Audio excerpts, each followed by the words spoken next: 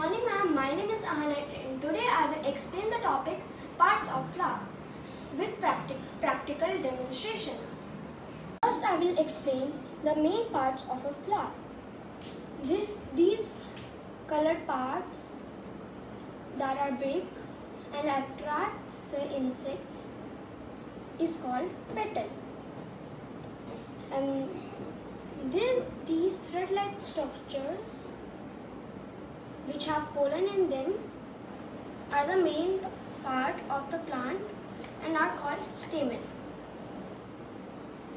Hmm, These are the leaf-like structures that protects the flower in bud stage. These are called sepals. This is the stalk which is connected to the branch. This is the pistil. It contains ovary and is the female part of the flower. Pistil contains three parts st- stigma, style, and ovary. Stamen contains two parts anther and filament. Tiny granule like structure present in the ovary are called ovules. As you can see, I have collected many types of flower which are different in color. This shows that petals are not in one color only, they are many in many colors. This is the first stage of flower, bud stage. And when it opens, the all the pa- parts of the flower are visible clearly.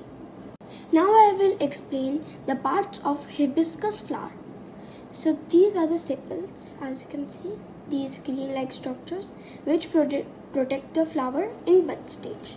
Then comes the petals. It is the big colored leaf like structure that attracts the the insects also. This is the pistil.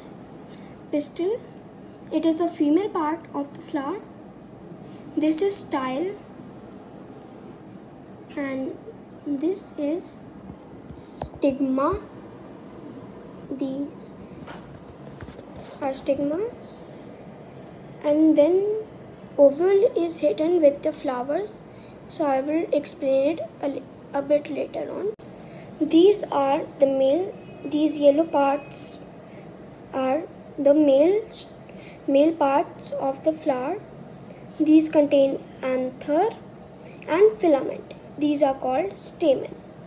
Now I will show you of now we will open the flower to see the female reproductive part of flower.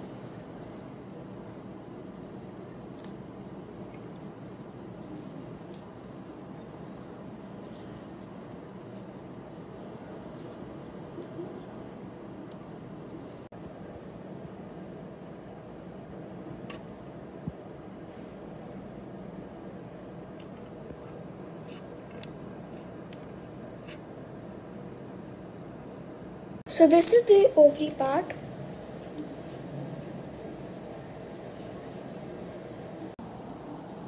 Now you can see the ovules present in the ovary. These are the seeds. So now we have taken four ovules out carefully from the ovary. You can see these thread like structures of red in color. These are filament and then these yellow part are called anther. They contain pollen. So friends, in nutshell, we have bud stage, complete stage of flower and petals, sepal, female part of the flower, pistil, male reproductive part of flower and female reproductive part of flower. Thank you. Have a nice day. Keep smiling.